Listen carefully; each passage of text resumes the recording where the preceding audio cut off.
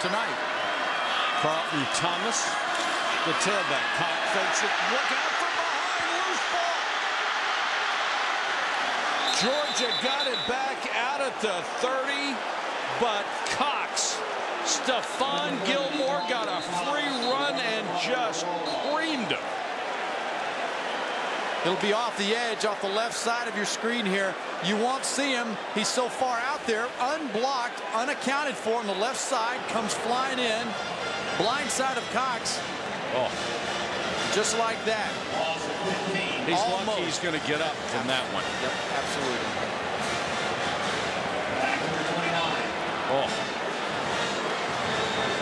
The impact of that is enormous. And Georgia very fortunate to get the ball back.